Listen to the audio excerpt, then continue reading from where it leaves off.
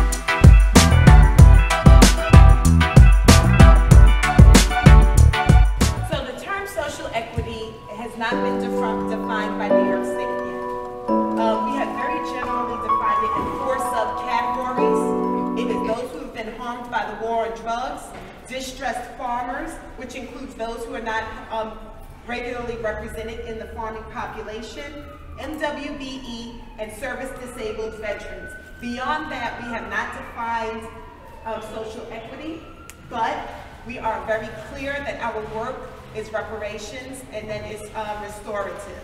So with those, with that guideline, we will be working on a firmer definition. And I think that people can rest assured that we know and understand that communities have been changing over the past 20 years and that we are going to be sensitive to those concerns.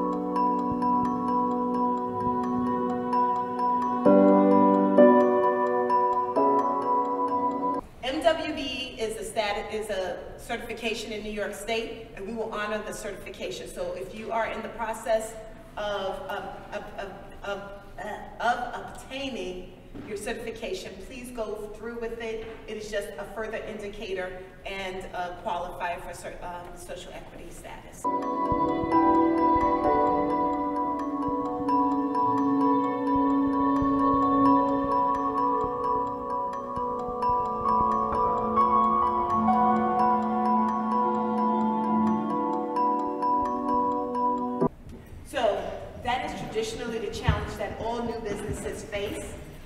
People do not lend money to folks who are not making money.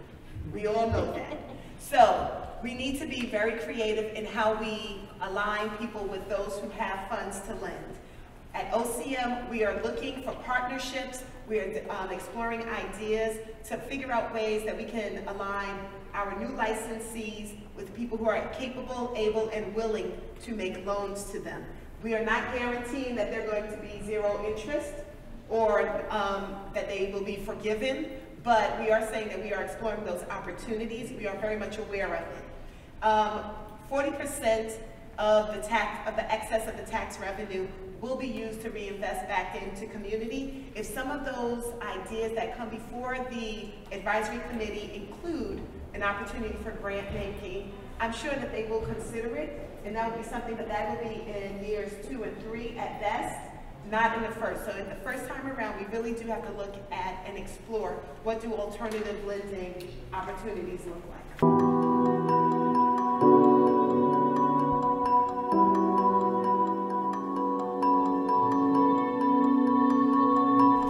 No, the initial date at the time that they signed the bill was 18 months. Because 18 months is actually a reasonable amount of time to set up an entirely new agency within this state and to create an ecosystem to support this new industry. And we're sticking with 18 months. The unfortunate part is that instead of us starting in March, we didn't get started until October.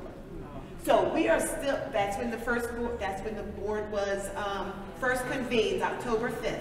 So we started working on October 5th, and we're still holding true to 18 months. It's a reasonable timeline. It's actually somewhat aggressive. But like all people, we want to beat that time, and we want to find ways in which we can come out earlier than what is expected. But we're sticking with 18 months. We're doing the work, we're staffing up, we're setting priorities, and we're really looking at what our regulations should do so that it can support growth, opportunity, and innovation. So we are hoping licensing. And so what I also want to bring to your attention is that what we're really talking about is that we have an ecosystem. We cannot issue licenses and tell people to go open a store if we don't have products available for them to sell. We can't tell people to go and open a store if there's no opportunity for financing. We can't tell them to go open a store and to grow the product if we don't have um, infrastructure in place to support grows. This is an ecosystem. All of these things have to align and they must be set up together so that they work in tandem. That's what we're trying to do with the regulations as well as with our planning schedule. So yes, it is a huge lift and we want to do it. At this point, you have to fill out the application that has yet to be released. but, no, but seriously, this is a business like every other business. What, what I keep in, um, encouraging people to do is to realize where you fit in, to create your business plan, and to be ready to rock and roll as soon as those applications become available. So there are no qualifications for a grower other than they have a plan to execute. Because I can't tell you that you just because you've never grown that you can't be a grower.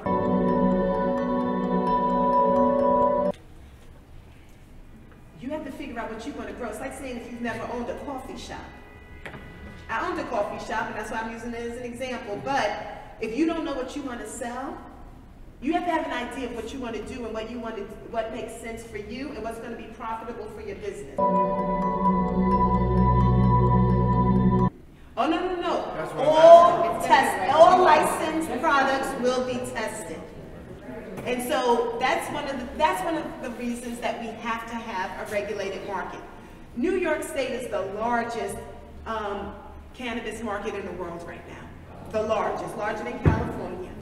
We're just not regulated. So people don't know where it's grown, how it's grown, what it's cleaned with, what they're actually smoking, what they're ingesting. So it's not about me telling you which strains of the plant, because that's sort of where your question is going. That's no, not our job. Not, we are going to tell you the what your requirements are to pr produce a safe product. That's it. That's what I'm getting at. What are the qualifications and what are the regulations? I mean, anyone can, it's like every, a drug dealer, everybody has drugs. Some, some people put fentanyl in it. So, I'm what I'm going to say is, what I'm going to say is, we cannot tell you that anything beyond we will be testing, and once we re reproduce the regulations, because if I sat here and tried to tell you what all of the regulations are for testing of the plant, they would be wrong. I just can't remember all of that. And that's another business and structure, labs. Labs, I was going to say, there, that is something that we already have in the state, and we will be utilizing some of the existing labs, because all of our medical uh, marijuana products are tested. And I can't tell you exactly what all of the testing is, but we have the standards, and those are already written. And so if you want to take a look at what the standard is in testing for either hemp or medical marijuana, those are already available to us, and those can be guides. But anybody can grow that wants to grow, and then they will have to meet the, state, the testing standards in order for their products to go to sale. No, and I, so I, I appreciate that question because I think everyone is trying to read the tea leaves in this moment. And unfortunately, we're asking you to be a little bit patient while we develop the regulations because we are trying to do something new in New York. We are trying to center equity. We are trying to make sure that we provide access. We're trying to time ourselves so that the market makes sense when people enter it. We've seen many examples across no, numerous states where people got licenses and they had to sit on them for months, and in some cases, years. We don't want that. We don't want people entering into lease agreements and they ha don't have a business to operate. We don't want people looking for product and there's none available, and we don't want the market oversaturated. So these are real things. We also don't want people to not know how they're gonna move their money. Like there's some things that are really simple in the business, but that we still need to think about. So we have to think about standard operating procedures. We have got to think about how banking affects us. What is insurance gonna, what's gonna happen with your insurance? What happens if you've got a mortgage on the building that you thought you were ready to lease to somebody that's a cannabis business? We're trying to make sure that we can help folks through all of these challenges and figure out the solutions. But it's also, but it's all happening at the same time. So we're building as we walk. And that's part of, that's, a, that is somewhat of a challenge, but it is what we're doing in this. So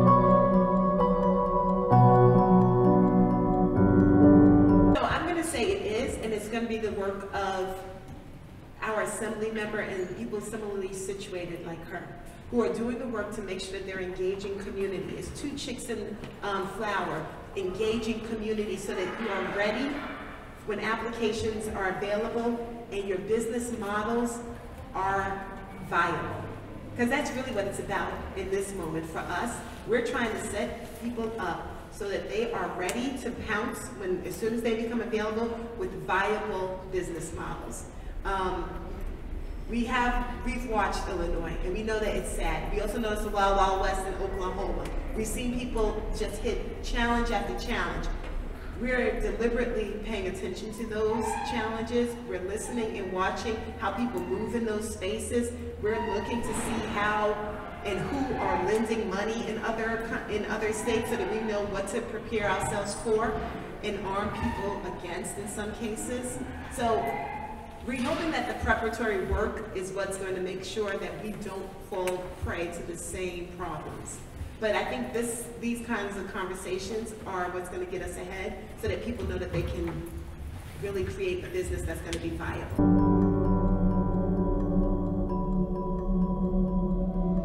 No, it's fifty percent of all licenses. Let me be really clear, because everybody always has this conversation like black folk just supposed to sell. Yeah. We're not, this is not a liquor store model. Yeah. This is an industry, and I really want people to know and understand that it is fifty percent of all licenses, all license types. So if you're setting up a co-op, a micro business, if you're cultivating, if you are going to be a distributor, or if you're doing delivery service and consumption, all of it. We need to make sure we have people in all parts of this industry.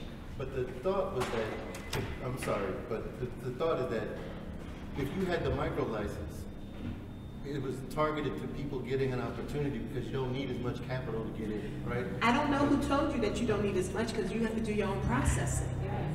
That's So, but- so what I'm saying is, I don't know whose thought Yeah, we think that we're capturing, but having sat in the legislature and had an opportunity to be a part of some of these conversations, I can tell you that I did not think when I said that we want to make sure that we have social equity applicants be a part of this, that we were thinking that they're only going to be um, restricted to one segment of this. Because what I also want to remind us is, we've got to broaden our view of who we think social equity is and who they are and how they operate.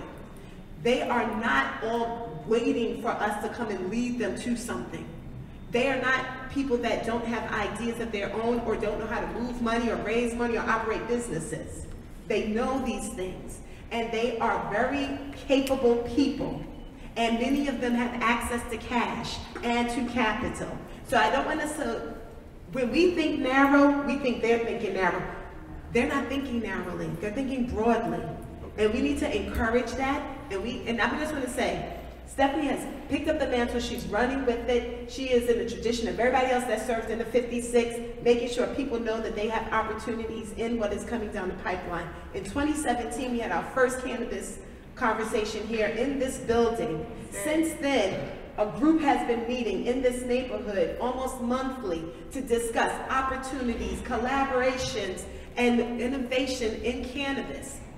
They have access, some of them have access to cash, some of them are, are the thinkers, some of them are the people who will be the doers. But what I want to say is that they would all qualify as social equity that would be, that's in those rooms. And we have to remember that that's what, this, as varied as we are as people, that's who's in our social equity population. Because many of us who we don't, who we look at on the street have been harmed in countless ways. And we're gonna let them tell us their story so that they can qualify. We're not gonna say, oh, it's only if you did X or only if you look like Y. So that's what I think we've got to remember as we um, approach this.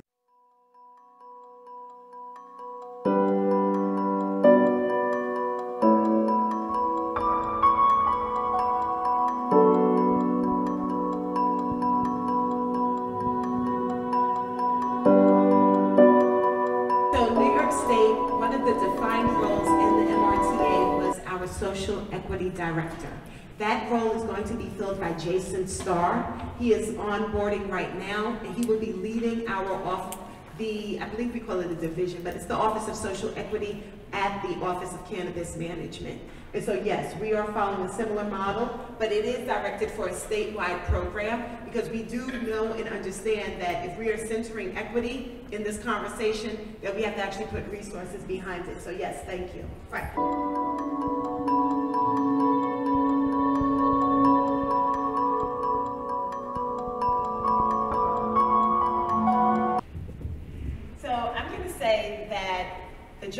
OCM is to implement the law. We are not in a place of changing the law. If we want to see a change to the law, we're going to hand that over to the legislature. But at this moment, we are going to just implement the law, and we are trying to work on a definition of social equity that meets the goals that were intended when we passed the law. So I need to frame this this way. We have for now 52, 53 years had um, laws on the book against discrimination, yet it still persists. And a lot of times it persists in areas because people are tired of actually reporting what's going on. And so it is a fact, and a number of people know that this practice happens, but how many people have actually filed a complaint with the Rights Commission, with the state around any of these issues? We have to be the mirror in this. We have to, we want to, so first of all, I want to say this. I think that we are ahead of the game because we've put forth the fact that this is a social equity uh, model and who it's intended to serve, right? The four groups that we identified a little earlier. And so since everybody is aware of that, anytime that we see that people are in a space where they're abusing that, we absolutely have to say something. Because we cannot continue to allow people to jump ahead of the line when we know that this was, for 30 years, there have been black and brown legislators working on this. We cannot let all of that hard work go to waste and be in vain. So please, let's be very clear that your, your grandmother, whoever, your aunt Sue cannot have 51% of your, um, your company because you want to be on the head of the cannabis line. One group that has um, clearly been identified to receive prioritization in the licensing process are those who have been arrested for low-level marijuana offenses. Wow. And part of the work of legalization was decriminalization, which began in 2019, wherein we started to uh, suppress and to um, expunge records. We got about 200,000 from that legaliz, that um, effort. And then when we passed legalization here in 2021, we have since March included an additional 200,000 more. So in New York State, we have currently expunged, suppressed at least 400,000 people's um, criminal offenses. But they, there may, there, I was say, there are more that need to, um, have their situations addressed. However, they are the one group that are identified to receive prioritization during the licensing period. And one of the concerns that we have is what information do we extract during our application process so that we are cognizant of the exposures that we're asking them to put themselves into. Got it. So yes, it is something that we're aware of. It is a consideration for us, and we are, work- we think that the first step for us though was, um, expungement.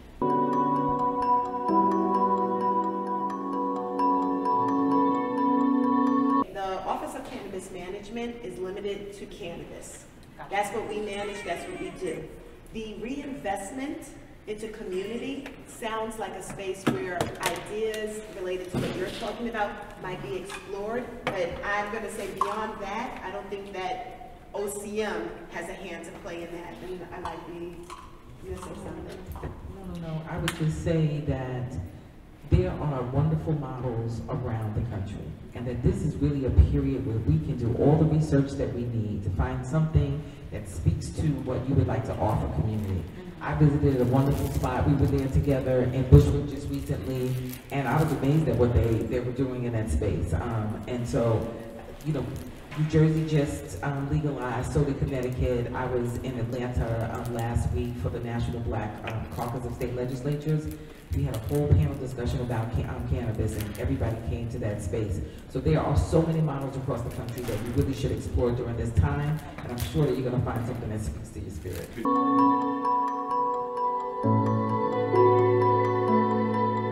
So, depending on how you want to incorporate cannabis into your business, you may just be obtaining a, new- a license that is going to enhance an existing business versus creating a subsidiary business. Um, it- and so that's the challenge of writing the business plan is to determine how you will be utilizing it. How you utilize it is completely up to you. The only thing we're examining is, is this a viable business applicant before us when we're distributing licenses? People actually push this. They got that initial nudge that made the elected officials act. So what you're talking about is something similar to social justice campaigns that then forward the agenda. So that's going to take the people pushing, um, the people that have been working on the ground to keep working on the ground and to keep making sure that there's referendums on the- these kind of initiatives, that there's actual strategic ad campaigns, that there's petitions around it. Because those those things, you know, sometimes when people say that a lot of noise is made and they wonder if the noise has an effect, and it does. You have to make the noise and grumble, and when the noise is made, you know, activities happen from that. I think education is extremely important in this space. I don't think it's enough of it. I think there's a lot of talk around business and not necessarily around the science behind cannabis, how it affects the body, how, what, how people are using it, people getting the proper education into what's going into their bodies. And I think there's a lot of opportunity that's being left on the table because everyone is only focused on, you know, one aspect of the industry, growing or having the dispensary. You hear people say the same thing. I go to a lot of different conferences and forums and you hear people say the same thing, I want a dispensary. But there's the ancillary side of cannabis as well. There's a lot of services that are needed in the cannabis space to make sure that we have a healthy market. Cannabis is not new, but any emerging ar- market is gonna be challenging in the beginning. So having to figure out, you know, human resources, having to figure out how people are not gonna be penalized for using cannabis as a patient when it comes to getting job opportunities. So there's a lot of things that need to be worked out within the industry, but don't just look at it in one specific way. Hemp, you have byproducts of hemp, hemp fiber, hempcrete, that's gonna help on the real estate side and construction. There's so many different opportunities in cannabis that are being overlooked because people are looking at it one way. So I think educating the community and making sure the community is informed is gonna be a very powerful tool in making sure that we have a healthy and equitable market. I know that um, there was an opt-out that was offered to um, counties and real estate um, owners, and I wanted to know when was, I know the date changed, was it December This thirty-first? is December thirty-first. Oh, it still is December thirty-first. Okay, so what comes from that? Once you have a list of opt-outs, what is the next step? So we've provided um, municipalities, towns, cities, villages to opt out of um, retail locations, so they can opt out of having no, they'll have no retail locations within their municipality and/or consumption spaces. Those are the only two license types that they can opt out of. Legalization is statewide. And if you were growing in that, in that town, you could grow legally. The opt-out is only for those two license types. We're using that to help us determine the siting of licensees. That's what that's for, for OCM. For OCM, we need to know and understand what it looks like across the state, who's opted out of having those types of facilities Because we have to be mindful to make sure that opportunity exists across the state. Because as you said, we do need to make sure that people have access to products, and some people are self-medicating, some people actually have medicinal cards like you. There, we just want to make sure that we are able to cover the entire state, so it's informational for us. Great. And have you heard of, um, uh, real estate owners who feel like they are going to be charged federally? So I haven't heard that they're going to be charged federally, but I have heard that people are concerned what it might mean to their insurance and to their mortgages. Right. And so those are real concerns for people who have obligations with institutions ca- that cannot do business in cannabis at this time. So you need to be mindful of who and where you want to site a business. Um, and you need to have the conversation with whomever the owner is to make sure they know and understand what the, your type of business is going to be, if you're touching the plant, so that they know what risks they're um, taking as well. This is just a conversation of risk. It's not a conversation of, I don't want to be a part of it. People assess risk consistently in business. Will the state offer a list of approved real estate? No, because that's not the, no. Area? I'm gonna say, it's not about areas. It's, so, a town and a municipality identifies themselves if they do not want to have a retail space and/or a, um, consumption. And part of your application is an approval from the locality. So you will know if that's a space that's not open or willing to host your type of business, if that's what you want. Um, so we don't have to go and tell you that, you will know it because that's one of the things that you would explore in looking for, um, approvals necessary to submit a completed application. What I will say we will do are assist people to come up with solutions for the challenges that they face. If it's us helping to figure out, and we are engaging with different insurers to help figure out who's actually insuring cannabis businesses and who's not afraid to actually deal with them. And what we're finding is that largely they're providing life insurance, but not, not business insurance. So those are challenges that are across the market. But we're just, I just want you to know, we're aware of it. We're not blind to it, and we are trying to work with our other parties to make sure we can tap into solutions as soon as they become available.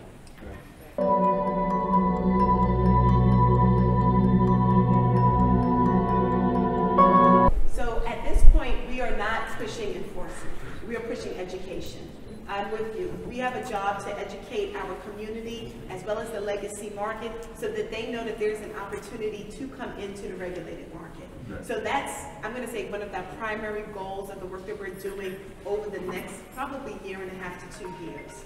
Um, we need to make sure that people know and understand that there is a pathway into this regulated market. So we do not have a penal, a, a penalty system set up. We are talking to them and we are talking to law enforcement to let them know, yes, this is not, we have not legalized sale. We want to advise people to refrain from it, that gift exchange is not legalized. It is, we have not legalized that. I specifically made a statement during one of our board meetings to make it clear that, that gifted and suggested donations are not authorized. It is outside the scope of legalization. It is considered illegal at this point.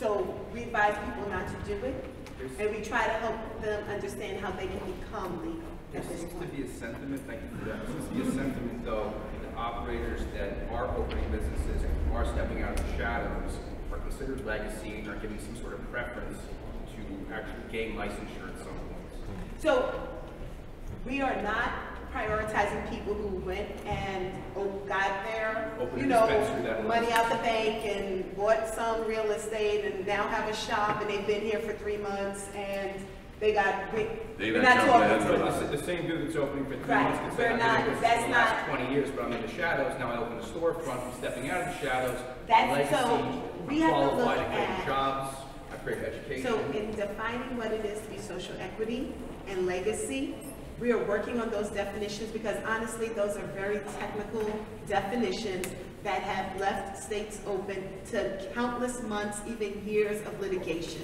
So when we say we haven't defined it yet, it's not to be cutesy, it really is because we don't want to put our foot in our mouths and end up in court.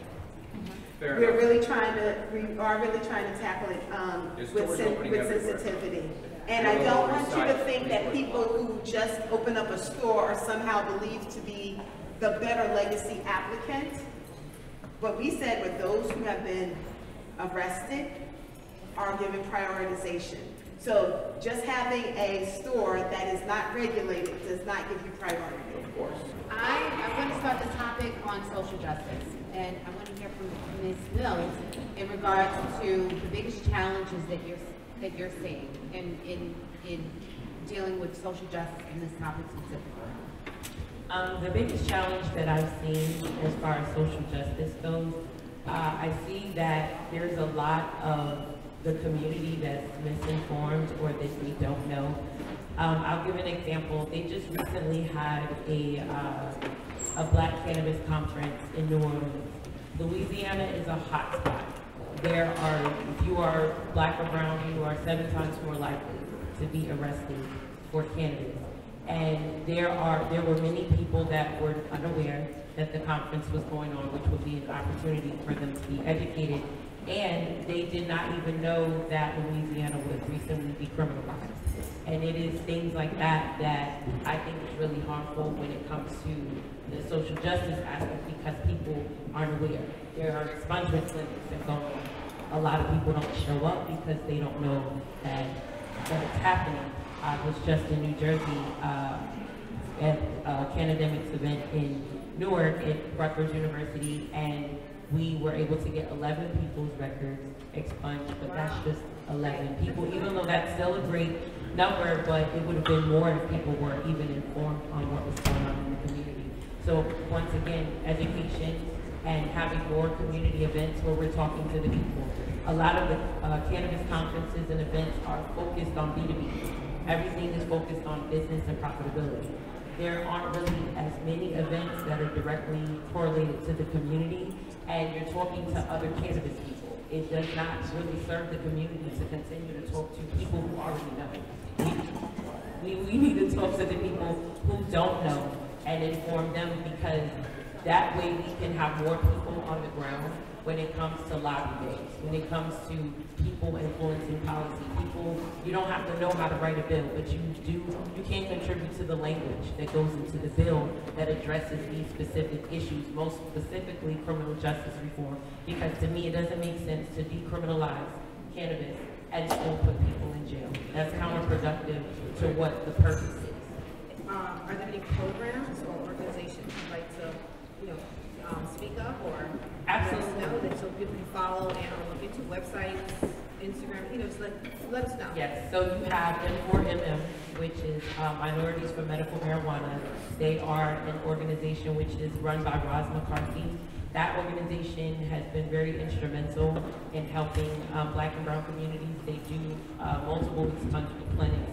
Canademics is another uh, organization. They are based out of New Jersey, but they work uh, with a lot of people from New York because of New Jersey and New York being so close together. And the tri-state area as a collective is, you know, everyone knows it's going to be the biggest market in the entire uh, U.S. So those are just two organizations. You also have the, I think it's the Minority um, Cannabis Business Association.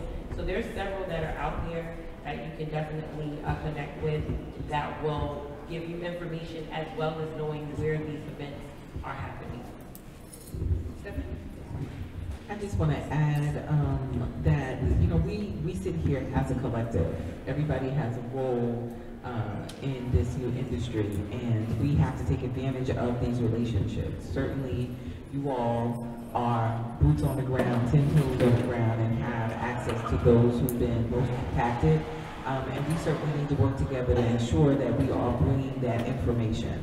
Um, everybody is not going to read a brochure. I know that. So during the summertime, I was standing on corners, doing state of the streets, and having conversations with people um, about again not infracting. And if you want to be in business, how can you do that? But I certainly agree with you. I think we need to, to have more of these, um, and not necessarily I love restoration upstairs um, on third floor. You come visit me anytime.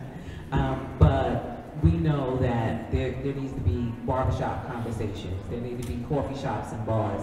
And, um, I think that I'm one of those legislators that, um, love to hang out in their district, so I'm, I'm willing to have these conversations, uh, wherever people are. Um, Before, before you go, um, I, I just want to mention that this is a four-part panel, a four-part series. Um, in terms of the summit, one of the main things that we're going to bring to the table is, the biggest thing that Ann and I have, um, have come in contact with is, um, business writers, the, uh, the, the, um, writers of the actual application. Um, we've come in contact with a slew of different, um, uh, businesses that can help you prepare for this application.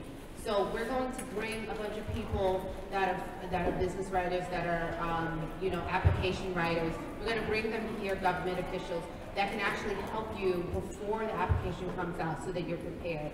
Um, we're gonna have forums, and so I just don't want you to think that this is it. The conversation continues after today. Um, can I add on something too? Sure. I want to add on to, um, the expungement part. So, if you've ever been arrested before for anything, you should know what's on your rap sheet. Um, a lot of us like have got arrested years and years ago, and we don't know what is actually on our rap sheets. So what it does is it impacts us from employment, from housing, from other different things. So it's always good to know, because even though automatic expungement took place due to marijuana law, some people still have those convictions on their records. And the reason, and the way they find out is on their record is when they're applying for a job and they're denied due to a background check. So if you've ever been arrested, once again, you should know what's on your rap sheet. Why? Because those things can prevent you from a lot of future opportunities. Can you tell, um, can you share how someone? Yes. So, so automatic expungement is supposed to happen. So now ultimately you have different organizations, which was mentioned, which was black-led organizations, but you have the major organizations like the ACLUs of the world, the Brooklyn Legal Services of the world, the Bronx Defenders. You have all these different organizations who are working around expungement. Um, automatic, like, like I said, it's supposed to be automatic, but for some folk, it's still there. Auto, as well as sealing. I worked on this work as, well, as far as expungement and sealing. If you've been convicted of a felony, and it's a nonviolent felony, it's over 10 years old, and you've never been rearrested again, you can get that case sealed. So it's a lot of different things you need to know once you've got a criminal conviction um, that you need to know, period. So know, look at your rap sheet, request a copy of rap sheet. You can get it from uh, where you got sentenced at, if you can remember, the district attorney's office, the court. You can appeal, it typically costs about $25 or so to get a rap sheet, but you should know what's on your rap sheet if you've ever been arrested. Because sometimes, most rap sheets, about 70, 65 to 70%, have identified errors. I'll say that again. Most rap sheets have errors. So that means that you might have got arrested for a DWI and it might say you got arrested for carrying a controlled substance. Hmm. So it's good to know what's on your rap sheet. Stefanie, um, if I may ask, I believe you mentioned that either you're working on or there's some, something in the works for expungement, just to add on to what Roy stated. So I, I hosted an expungement, um, will continue to, I- don't know if we'll be able to do them monthly, but at least bi-monthly we'll be able to host them. We've done them via Zoom and in person. Um, and then Community Services Society is another organization that has a next door, it's the next door project, and they're able to do, um, expungements as well. So we, think our, we're, we're so committed to it at the New York State Assembly that our majority leader, Crystal Peoples-Stokes, um, whose bill it was, um, actually has held expungement events via Zoom from Buffalo. Uh, so this will continue. Here's a question in the back. Yeah, I was wondering if the language and the work around equity is broad enough to include all directly impacted slash wrongly incarcerated folks, not this low, quote, low-level marijuana offenses, um, given the fact that landing in the web of the criminal justice system often involves something. So to single out that particular, you know, brand of person impacted doesn't do justice to, to, to, the- to real equity in the space. Is there language around that? Well, I will say this, and, and I don't want to sound facetious when I say this, but th- that would need to be another amendment. The reason why it took 30 years is that people really did not want to have any criminal involvement, uh, as a part of this bill. And, and, and we fought, uh, to ensure that low level was, um, and so if you've had, you know, drug arrest attached with a murder conviction, that, that, that's, that's problematic. That did not make itself into the bill. So we have to continue to. role violations around? Well, one of the things I will say to you is that we've got two great people, um, one on the Senate side, um, and, and, and one on, the and Latrice Walker, who is on, uh, uh, the Assembly side. And, and, and they are two lawyers that you really should be in contact with and talk about what are the things that you would like to see. Um, because they have the, the power and they sit on the committee, um, to push that agenda, but that's not currently a part of the current MRTA.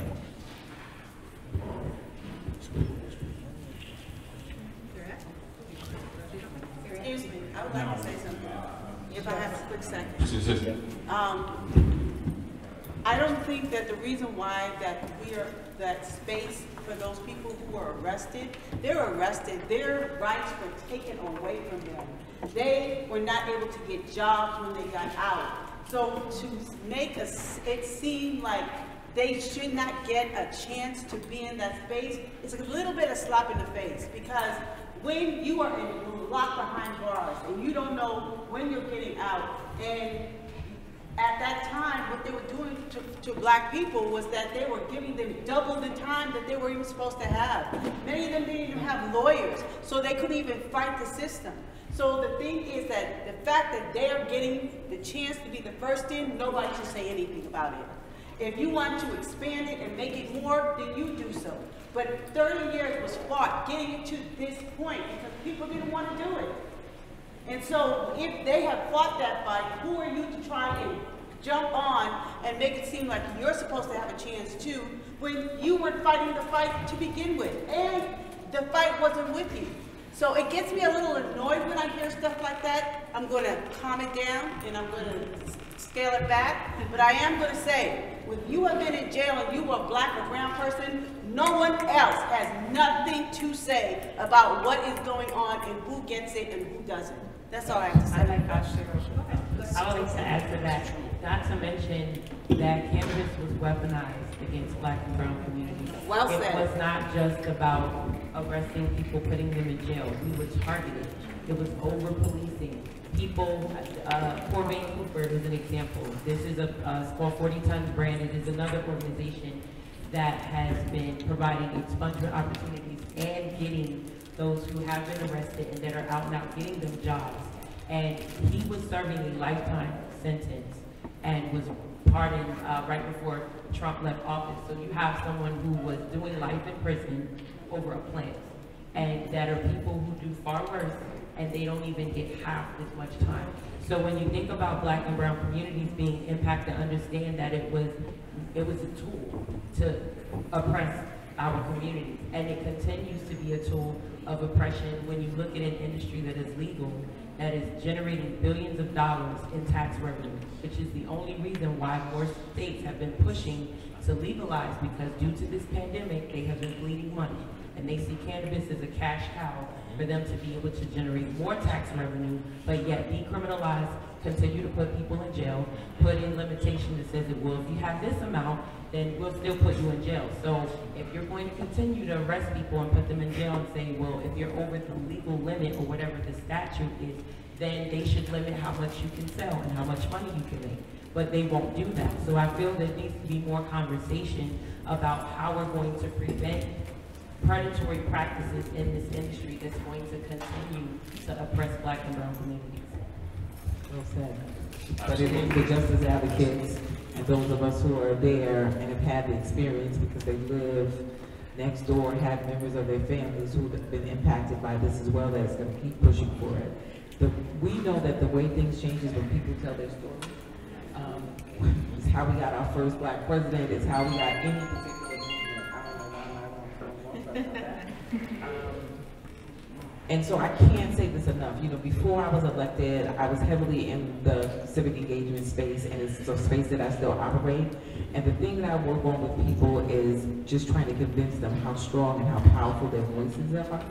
Um, and I know that people have this, you know, love and hate relationship with voting, but I absolutely tell you, in, in my lifetime, it ha, it has worked and it is the best tool that we have right now.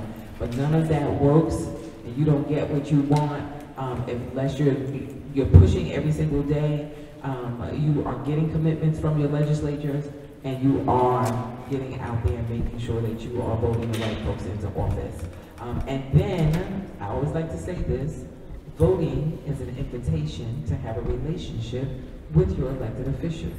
It is not the end. People vote, and then they expect to get everything they want. It's like literally marrying somebody and showing up on your anniversary and saying, that honeymoon was trash, or, I mean, I don't understand it. You have to have constant conversations with folks about what it is that you want. Um, and you cannot leave it up to uh, them to just determine just because you voted for them, because there are other people in their ear every single day, and there are other pressures around. And so we need to stay connected. We need to stay on the same page. Advocates, um, those who are impacted, um, and legislators. Good question. Hi, um, my name is Takia Young. I'm, a, um, I'm in this. I'm an uh, engineer by training, but an educator in practice and entrepreneur at heart. And I do a lot of work in the data space. And I do want to speak to you about what you love to hear from you all in your respective areas.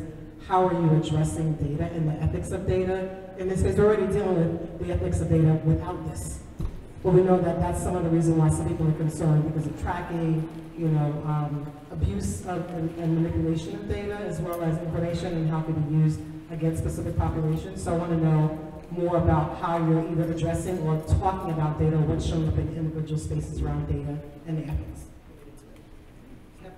Uh, well, I, I come from, I have a tech background, so uh, technology, data, you know, I'm, I'm a bit of a nerd. So I believe that there are platforms that are actually exist that are using aspects of blockchain to maintain privacy. There's a lot of talk about data and technology, and I know everybody's been hearing about crypto and NFTs and all these different things, but these are all tools in the tech space that can be utilized to help with that issue. I think that the, the same way that people want to be protected when it comes to what they opt in or opt out to, the same thing should be structured around cannabis because there are people that don't want to, you know, they don't want it to be known that they are consumers or even medical patients, or they don't want it to, you know, be penalized you know, in the workplace for um, being someone who uh, consumes cannabis in any way. So I think that there is an opportunity there for someone like yourself or anyone else who is in that space to create those platforms that allow people to feel more comfortable with the information. The main reason why people are afraid is because of the stigma.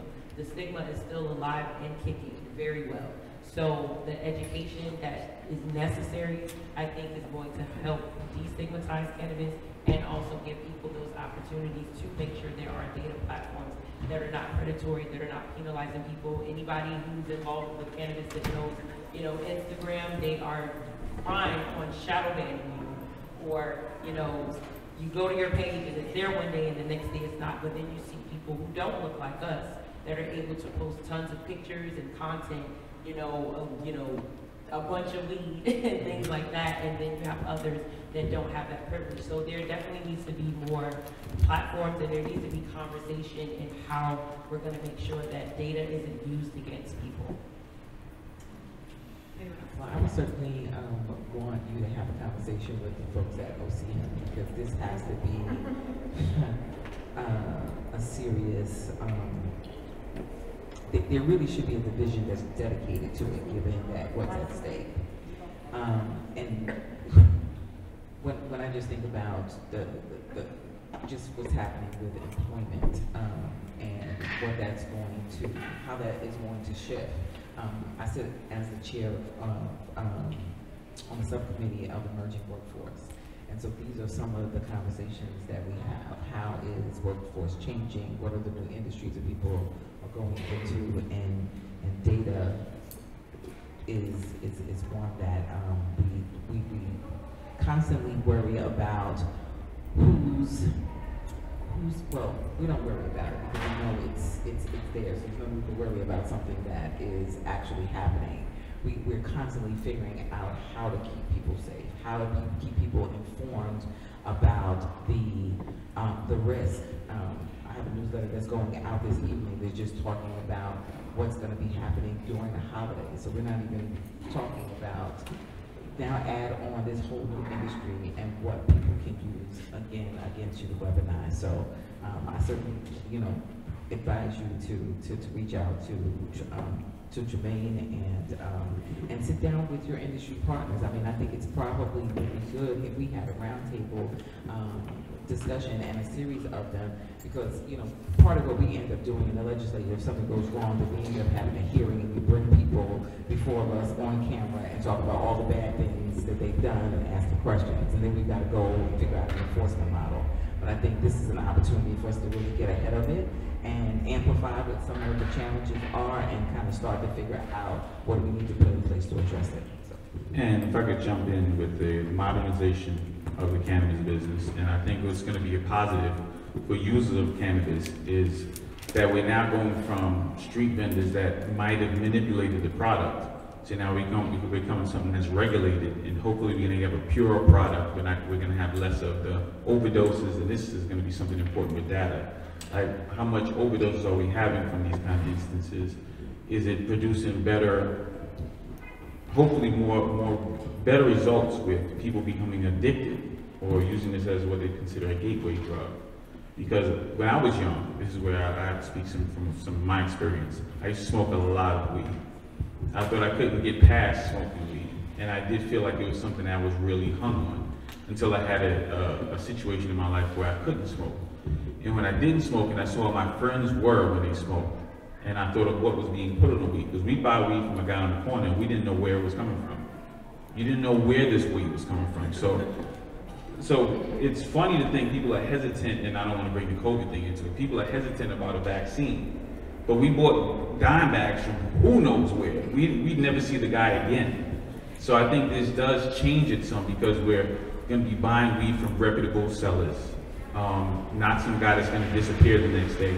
And if something does happen to people that are using this product, we know we have somebody to hold accountable for it. So I think that that progress and that tech part of it is going to be a very big part of the legalization. Roy, you want to add anything? No. Someone have a question?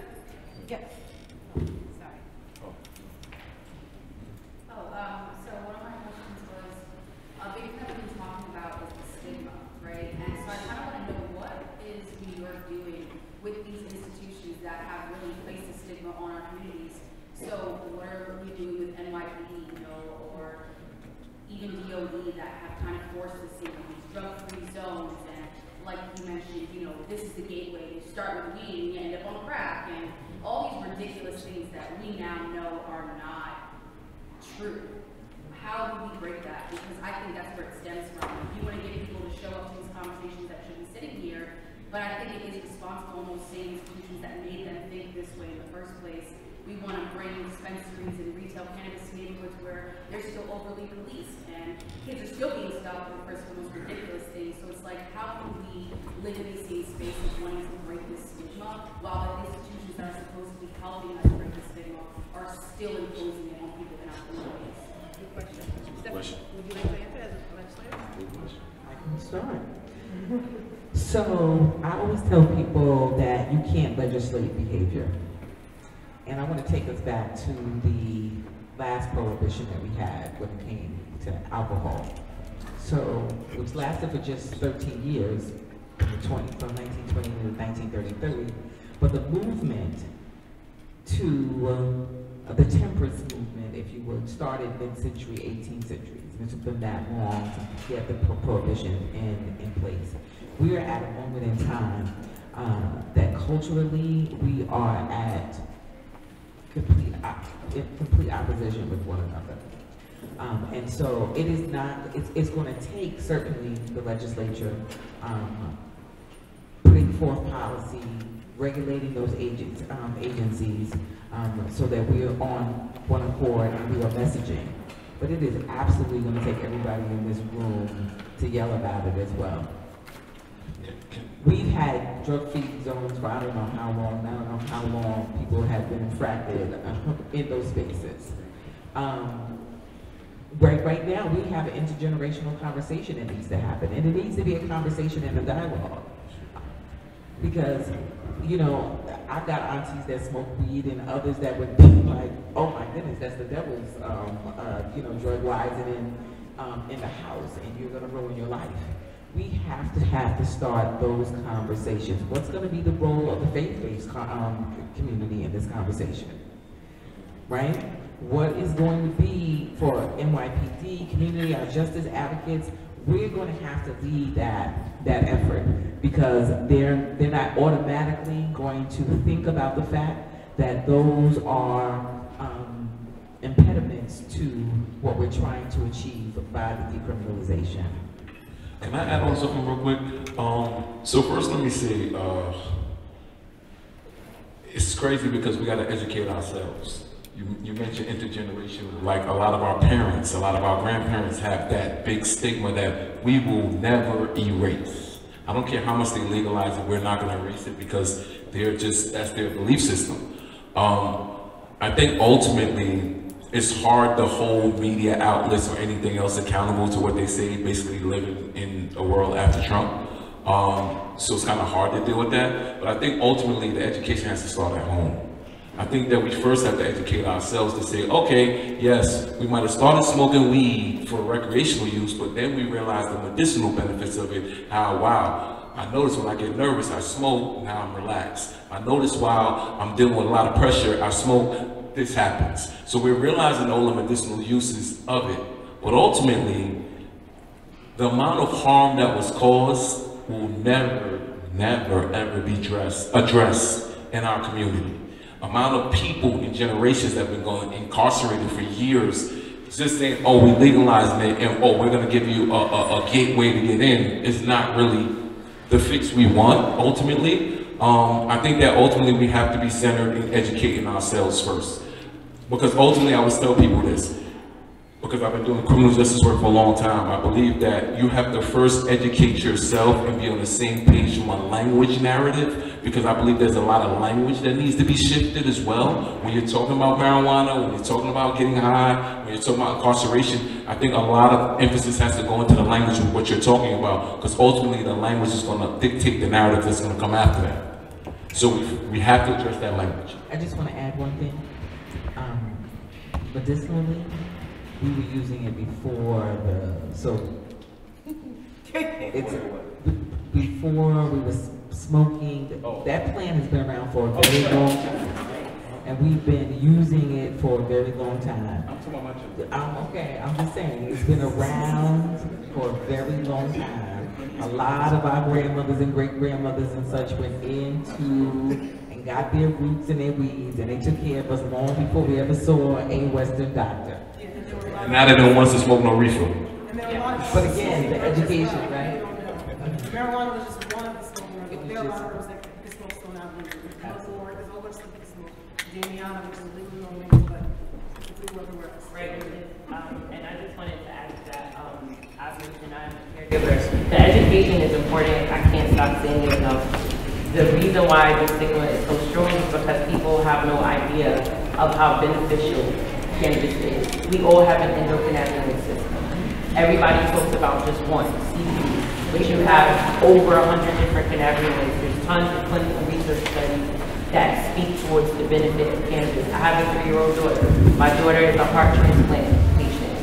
I use cannabis for my daughter. She uses CBD and CBG, and developmentally, she's done amazing. She has had zero rejection in years. So for me, I've been able to see how cannabis affects, you know, children who are born with chronic illnesses, adults. I see how cannabis has been used with people who have stage three and stage four cancer. These are all research studies that is available. Israel leads the entire world in research study for cannabis. And I think educating ourselves on what, how it affects the body, how the different cannabinoids affect us, and even getting to know your own endocannabinoid system and how the plant affects you specifically. You may not be a smoker. You may use a tincture. You may like edibles. There's all, so many different ways in utilizing cannabis and not just focusing on THC. People go into dispensaries and they want to be shown, you know, the bud tenders will show them what has the highest THC. Some people may need a lower dosage of THC and higher CBD. It just depends on what specifically that individual needs. Microdosing is extremely important. I think there needs to be a standard microdosing model, but that's only gonna come with education to get doctors and physicians on board to be able to open that dialogue and have it to where at some point they can prescribe cannabis and they can create a regimen for individuals that need to or need to use it for different reasons. So I think it's really important for these conversations to happen and for community to be involved because that's the only way you're gonna start changing people's minds. Cannabis is used to get people off of hard drugs. So to call it a drug, that's where we have to stop first. It's not a drug, it's a plant and it has a lot of medicinal benefit. It's more than recreational use and that's why I don't really necessarily focus on adult use. Any way you use cannabis is beneficial to your body in different ways. So I think we should definitely start that conversation there and recondition people's minds and looking at cannabis as a drug and as a medicinal plant. Very well said. We have a question over here? Yeah, I would like to advocate, um, because I keep hearing the word education, education, education, and I'm looking amongst the panel and I'm not seeing any educators, any teachers. Teachers have the widest span and within any community on any level. We're constantly interacting with parents, institutions, as well as policymakers and holders. And I really feel like that needs to happen. Are there any initiatives to create a cannabis curriculum? Are there any initiatives to do cannabis workshops? Are there any initiatives to even invite doulas into this conversation? There's a wide lens of um, birth education and family education and parenting education that maybe the traditional school model is it's failing because we noticed that there's a lot of parent education that needs to happen because parents are constantly working and kids are getting falling through the gaps. So doulas and birth workers are really um, picking up a lot of that slack. But we're seeing with the current legislation with doulas, we're just now coming around to the fact that black maternal health is a huge dire issue that's affecting our community. We're losing black mothers in the birthing process. We're losing black mothers in a lot of the, the illnesses that come up, up within um, pregnancy. And not even just, you know, not even just mothers, but to be exclusive of the LGBTQ community, birthing people. People who are getting pregnant, people who want to pursue families, whether you're even a surrogate, there are issues and complications that come with that. And sometimes cannabis is a way to alleviate those illnesses. But if you are in a hospital or sometimes even in a birthing center and you are tested for um, drugs and you're you, not the child, you are showing up with THC in your system, you lose your child you lose your, if you go into a check-in system, if you're not even birthing, if you go in for a GYN checkup, and they even suspect or even have any idea or smell or whatever that you are using cannabis, or someone calls an ACS case on you because you maybe have rheumatoid arthritis. I have a very dear friend of mine who she was called ACS on her, but this woman has debilitating rheumatoid arthritis to the point where she can't even get out of bed and raise her children, and she is a considerably young woman. She's 36 years old and she lost every, she lost all three of her children. So what do we do in those situations where parents are trying to parent? Where teacher, teachers don't get drug tested. That's a big, that's another big, you know, misnomer and propaganda that is going on around cannabis. Oh, you can't be a teacher and engage in cannabis. Almost every colleague that I've worked in for my 15 years of education, we all consume cannabis. DO, public school DOE, charter, teaching artists, professors, all, all throughout the education field and industry. So what are we doing to really include those two populations to make sure that our community at large, because families are getting hit the hardest? Right, um, and I come from that. I'm, I was, you know, I'm a black woman. I understand the health disparities in this country. Uh, I didn't find out about my daughter's heart condition until she was, uh, I was seven months pregnant. I never knew that children could be born with heart disease. Yet congenital heart disease is one of the most common birth defects and the mortality rate is sixty percent higher than every single pediatric cancer combined. So that statistic alone let me know there's a lack of education and communication between the medical community and the black community. So I chose to be an advocate to let black women know that this does exist. These are questions you can ask, these are things that you can have, you know, ask your doctor and after your child is born to make sure you're not taking a baby home that has a heart condition to where if they stop breathing or their nail tips are blue or you notice their lips are blue or purplish in color, that there's a real problem going on. So those are things that are very much important and there is cannabis curriculum. There are people who are teachers. There's cannabis nurses. There, there are nurses who are actually certified to to be able to educate in cannabis. There are doctors. If you don't know of the Knox docs, please Google Rachel Knox or the, the Knox family. They are doctors that actually have a cannabis clinic in Oregon. There are doctors out there that are working with the cannabis community as well as trying to educate and work with current doctors who don't have that education. So there is curriculum out there, there are classes you can take, there are certifications you can take to become an endocannabinoid specialist, and there are courses for doulas to be able to learn how to incorporate that into their education. So it's still being built, and that is something that the National Cannabis Party is actually working with universities. Right now, we have 73 universities that have accepted us to be able to start working with the student population and to try and help create curriculum in these universities. And we have quite a few HBCUs as well that are signed on to be able to create that kind of program. And but just to add on to um, your point, as Warren mentioned, we are building out three additional sessions like this, and one of them will cover education. Um, just like a lot of people in this room, we're learning, we are curious, things are coming to light every day, and that's definitely something that we said that we want to touch on. Educators, doctors, the programs, to bring that information to New York City, because since, you know, we are getting into that market for the next year or two, there are other markets that are well more advanced than we are, and advocates like the Knox family, which mother and father, like daughters. it's a whole family. Um, and there are others, but they are like the pioneers of the education, the medical education component, so we are gonna build that out. And, um, shameless plug, but if you guys follow us, um, Chicks and Flowers, uh, we will bring all the information and all the panels, all their information will be on there, so this is something we're gonna build. In, in the next year, we're gonna take a year, while we're waiting for the regulations from the OCM, to bring more information to New York City, um, civilians. Hold on, one second. do we have a question in the back? Just want to piggyback off of the she made over there, as well as the, to the Assembly woman, so obviously say a year or two from now, we see what actually want to open up, and it's not like a row of stores of the take it, but what about how do we avoid upticks in stopping drivers, as I would assume that people are under influence now,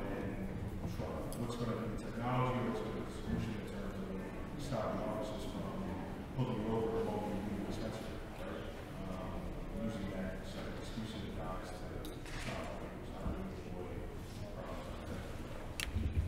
That's a great question. Um, and so you all know, let's see if you have my brochure, um, that currently smoking while driving is illegal and it is an offense under DUI. Um, but you cannot stop anyone legally because you think you smell smoke or you saw smoke, right? Because it could be cigarette smoke.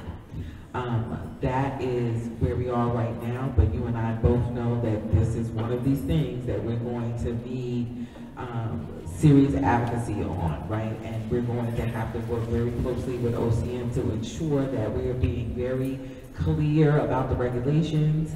Um, and, and certainly, what else are we going to need to do as they roll out those regulations as a legislator, um, legislature, to figure out, are there additional provisions that we need to put in the law to ensure that NYPD um, aren't returning to the, um, and I'm, that's a misnomer too, right? So legally, there's no stopping for us, right? Um, but again, this goes back to culture, right? There's a culture in that department that we're all trying to impact, right? We're clear that black and brown people have borne the brunt of every um, violent, traumatic incident that you could think about when it comes to a force that was designed um, for, on paper, to protect all citizens, right? And so this is really one of those spaces that we're going to have to dig deep and, and, and put forth what we want to see. What does the behavior look like? What does, what, what are you legally able to do? And then what is your boss telling you when you, you all show up to work and you're getting your assignment for the particular, um, for a particular day? Um, we've got to be absolutely transparent about what's going, what's going on now Um, so I have three precincts that I'm responsible for. I can talk to, I, I can, I've had conversations with each of those inspectors, and I know what that they are telling their beat cops, their NCOs, their community affairs officers about, um, drug stops in our, um, neighbor, in our neighborhood. Um, that I can't control what happens in Albany and, and, and, and other counties, um, but it, it, it literally starts here. And I think that we have been building toward a model of what, what policing with community looks like. Um, and we need to, we need to tell that story. Um, you know, the hardest thing has been through all of this is to deal with the trauma that people have, we're dealing with national from George Floyd to Tamir Rice is still the one that gives me, um, just takes me out. Um, and a lot of that gets conflated in what's happening here, but I, I think that we have done a really good job of having constant conversations with NYPD about what policing looks like in this particular neighborhood. Um, and people have to be brave enough to, to not only talk about what it is that we want the police to do, but then also what we're willing to do as well. Um, because people talk community policing, but I've had a difficult time getting people to actually take responsibility of what does that really look like on the on, on, on your block, right? If you can't talk to somebody about their loud music um, or the block party, um, how are you going to talk about um, crime reduction? Um, we have to get to a place where we are resolving conflicts so that we're not over abusing NY, um, 911.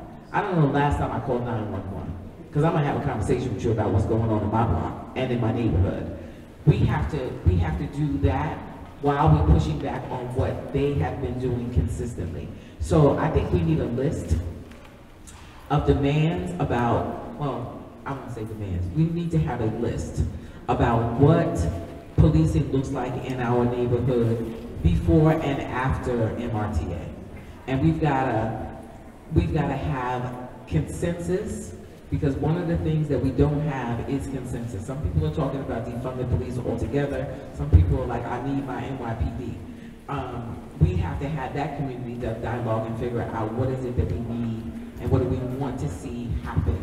Um, I hope we get to a place where we are not having to call 911 for, for everything. If somebody's having a mental health um, breakdown, then we're calling those peer support people, the hospital personnel to come and see about that. If we're having conflict, we want to call the Peace Institute, Institute and not NYPD. NYPD. There are all of these different models um, that we've been looking at, but now it's time really to implement those things um, because if we don't, we are going to see um, uh, the same sort of behavior that we've um, all lived with during this time. So Just to jump on that. that question. To jump on that, that is gonna really go into, uh, maybe revisiting our behavior behind it. Because with it being more available and also being legal to purchase and, and smoke, if the young men in the neighborhood that we're very, um, we're very serious about watching over, if they begin this, this, these activities of smoking in the car, now this also breeds another industry, because you know, there's industries all around the cannabis use, so now this leads to young men being incarcerated, young men, um, falling victim to car accidents from it. So it's gonna have to be very responsible behavior and also community policing of it, of what is the behavior we're gonna be, um, taking part in with this new legalization of cannabis. Let me add on, can I add on something real quick? I think, I think that question is kind of hard to answer. The reason why is because we're on the cusp of a new administration coming in. I'll say that again. We're on the cusp of a new administration coming in. So all contingent on how the next mayor decides to do policing is contingent on whether you get pulled over for smoking or not, really, in a way. So I don't even think really can, it's kind of hard to answer the question because if there's an overarching heavy hand because of the rise of shootings that's happening all around the city, and they start cracking down on people driving, then everybody falls in that web. We know that as people of color how to work in this country. It's a web that gets created and it swallows up everybody. If you stop, stop and frisk, if you start it again, people want crime to go down. They think stop and frisk is the answer or broken window policing, whatever you want to call it. What happens is a lot of innocent people are going to get stopped, harassed, arrested, as well as pulled over, arrest, arrested. All that stuff is going to happen. So I think it's, gonna, it's a hard question to a- answer with the new administration coming in and not knowing how they're gonna go about policing. Let me Just jump want on to that. remind you that there's two new administrations going in. The mayor is the executive, and he does hire and control the police department, but the city council is responsible for writing the laws and dictating what they can do legally, right? And then I'm, I, I, I have to stress this, the rest of it is up to us. Because all of those people who sit there, those fifty-one people there, the hundred and fifty that are on the state level, we are all responsible for listening to our community and setting forth policies that's gonna keep us all safe. And so it is, it is your voice that is gonna continue this happening. Well said, well said. I also Let me say, let me say something too. So we have two brothers here sitting right next to each other. We do, both do work in the community. And I, I do think that although with the, how the administration looks towards do their form policing is gonna be one aspect, I do think the behavior in cars and smoking is gonna be a very big thing. Because going into a car and smoking, as Stefanie said, we're, we're beginning the, we're beginning of a whole new industry. There was times where people used to drive and drink a beer. That was very common. Very common until we understood how terrible of an act that was. So now with this cannabis coming. Now we got red cups. Well, well, hopefully we don't. Hopefully. Example, I'm just saying example, like- Because likewise, it's, it's not a good act to do, and this goes on to the community part. So me speaking to young men, my thing is gonna be, you don't wanna, you don't wanna entertain any of these activities while in a vehicle, and it may seem culturally acceptable, and it's really not. It's really not. I would just counter as an educator with a self-fulfilling prophecy. If you tell a student or you tell a child, you tell a human being with the psychological process of a brain not to do something, what is the alternative behavior? That's understood, but there are laws for a reason. And now we may not want them to, we may not want to say, hey, you can't do this, but understanding we have to say that. Because if we don't, culturally, if we don't, then we have the same thing where we're breeding an But to industry your, but where to we your have a point, bunch sister, of. but to your point, but to your point, you're right. Alternatives have to happen, right? Right. And so where the consumption spaces are going to So be. maybe we have a culinary class and we start instituting, okay, culinary cannabis, infused cannabis activities, and then creating more of a demographic that is prepared for the industry. Because as you have a lot of, you know, stay-at-home moms that want, want to do infused cookies, bakery and pastry and things like that, and then culinary is an activity that is now being seen as a viable resource within high school community. So maybe we, we take this one activity, with- but we replace it with something that is productive and still creates a stream of wealth for the children as well as for the industry. That's, that's the point that I'm making. Don't tell them don't do and then not create another activity for them to do. Agreed. That's the only thing. Agreed. Okay, we're gonna take one final question, and then we're gonna have a final, oh, we have two questions, we're gonna ask you to a minimum, and then we'll have final thoughts. First Yes. Okay, um, first of all, thank you so much for a great uh, group of panelists. Uh, I'm a licensed physician for the state of New York and the state of New Jersey. And the first, first thing I would like to, to talk is, I'm an advocate for patients, and uh, we really haven't talked much about them. Uh, they are the ones that are keeping us here united. Um, you don't imagine the amount of times that I've convinced patients, uh, very ill, very sick patients on the verge of death, uh, to try cannabis. I've been, uh, I've been recommending cannabis for the last four years. And once I convince them, they cannot get it because it's too expensive. So uh, living on a paycheck or Social Security, uh, having to pay a thousand dollars a month, um, it's, it's, it's impossible. So, so I, I would like to, to mention them because I think they, they are uh, why we are here. And, and second of all, I would like to, uh, to uh, suggest to stop using the word marijuana. Marijuana is, uh, we're perpetuating racism by using that word. And uh, me, as a part of the Spanish community, we were, uh, uh, we as and, and Mexicans were, were criminalized as well uh, using that word. So, so, so, uh, yeah, patients should be number one, number two, and number three. Thank you. And then the final question, in the back? We, you got it, you got it.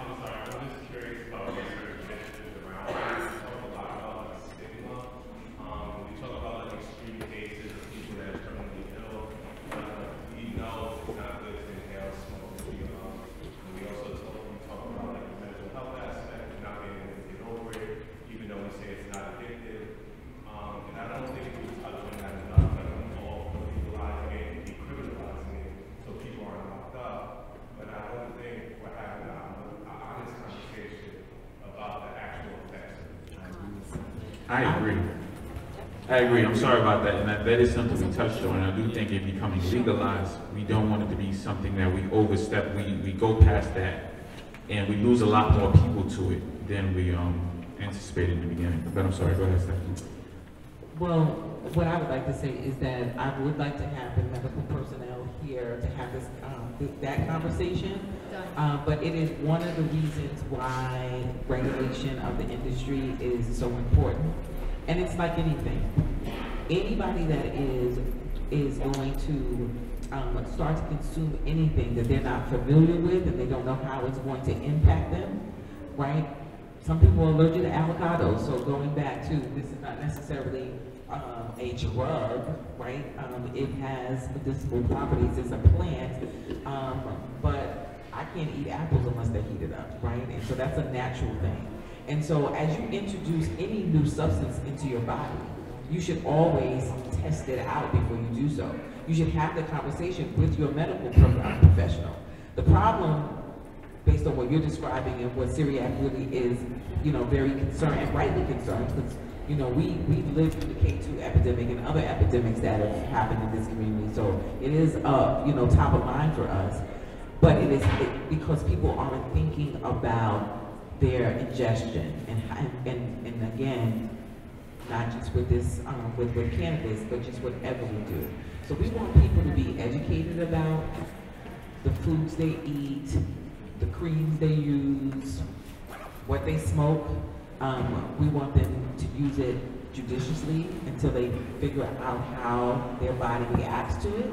Um, and I think th- that's how we deal with people having these adverse reactions um, or getting into situations where they, they can't handle it. We come, we from a, we have a society right now, we're binging, right? We binge watch, we binge drink, we just binge, right? And we really need to move away from that and really to start thinking about our bodies as temples and what enters that space and how we enter that space. So I'm looking forward to the conversation um, with, with, with doctors because this is, you know, it, it's a number one issue.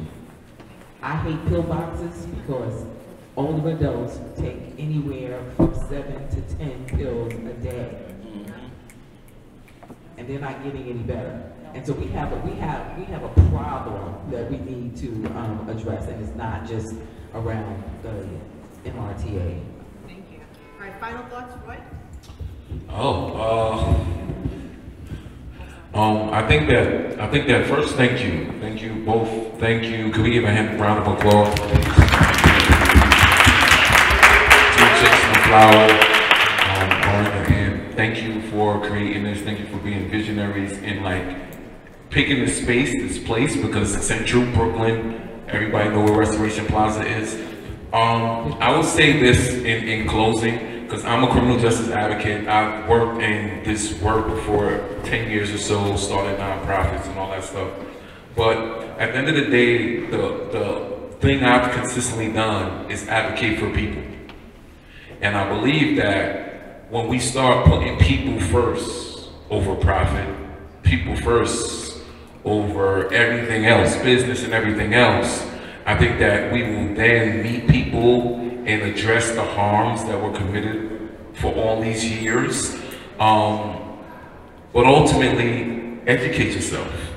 It's public information. You can Google all this information that was talked about tonight. You can go on Google and find out what it costs to be a cultivator, what it costs to be a distributor or grower. Like this is all public information. It is coming. So part of this forum is like a, is a precursor to what's about to come. As a heads up, New York is supposed to be different, and I'm hoping and praying, and I'm holding you to your word, um, Andrew, uh, that New York will be different than any other state because we've heard it all so many times before. It's going to be different here, but ultimately, we hope that it will be. Thank you. Cyriac, any final, any final thoughts? Yes, um, sitting here, I see that a lot of my vision is, um, is shaped by my mission as a mentor and how these, how these situations are gonna affect some of the young men that I work with. One in how it can adversely affect them and how it can positively affect them, whether be smoking hopefully cleaner weed, but also adversely, like what kind of lifestyle and cultural shifts are gonna adjust them as they're growing up. So it's something I think we definitely need to stay aware of and pay very close attention to because with this new industry is going to come new issues. Ms. Mills? Um, my, my final, uh, closing thought be, uh, for everyone to be intentional in this space. Uh, in the cannabis industry, as we said, so much is focused on profit that we forget about the people, we forget about the patients, we forget about the whole reason why the, you know, cannabis has been a great unifier in our people and utilize cannabis.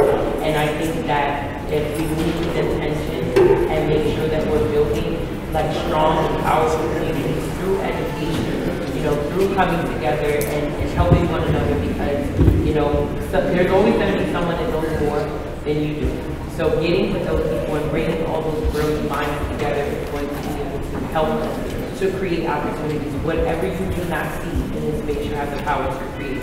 You don't have to wait for legislation. You don't have to wait for your officials to get together. As a community, you get to decide what is best for you. I, I strongly encourage that because I get tired of hearing, you know, all of this talk about how they're going to reinvest in communities through the tax revenue or how they're going to treat social equity. Social equity is not a project and being treated, treated as a project based instead of really getting to the root why it's necessary and why there even needs to be conversation about diversity and inclusion. So I think that us coming together, bringing our ideas together, and collectively understanding what our communities need and telling them, telling the people who are in positions of power because you put them in, and making them accountable and making sure there is transparency in how this process works so that the community has a better understanding of how to help push the legislation and policies that's going to help you. Instead of telling, letting people tell you what's best for your community, be a voice and amplify your own voice and yourself to say, this is what we need because this is how the war on drugs has impacted us and this is how our neighborhoods are suffering so that there can be the right programs that are put in place to help you. Thank you. And last but not least, Assembly Member? That was a mic drop. You didn't say anything else? Um, other than the fact that I too want to just thank you for this forum. Um, I, I've held several myself. Um, uh, this by far has been, you know, the, the most engaged in terms of the questions, and it absolutely has to continue. Um, we need to stay connected. You two need to stay connected. Um, ask questions. Utilize my, my, my office. Um, uh, get- send me an email, DM, whatever you need to. If you have a question that you didn't get a chance to ask this evening, um, uh, she's absolutely right. We are going to write the next chapter together. Um, but that's gonna, that, that's going to, uh, require that we stay in dialogue with one another, that we're honest with one another, that we're, um, talking about our lived experiences, but also sharing our hopes and dreams right? Because this is not just about what's happening here what we've seen before. This industry, this time is so vast, we don't know where it's going to end up, right? But we've got some real problems that we want to uh, address. Certainly the cost of this, whether or not um, people will be able to um, uh, pay for this using their insurance, um, who will have access, who will be monitoring it, whether it's the data or the police.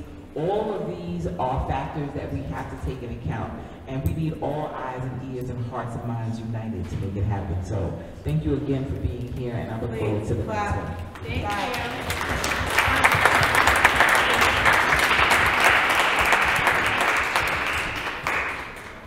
Okay, on a final note, I would like to thank everyone. We would like to thank everyone. I forgot we're kind of married. Um, we'd like to thank everyone for coming out tonight, everyone that's watching on Zoom and on live. We really feel very overwhelmed as well as appreciative that we are being welcomed into the space um, that we have been affected by indirectly as women of color growing up in an urban environment.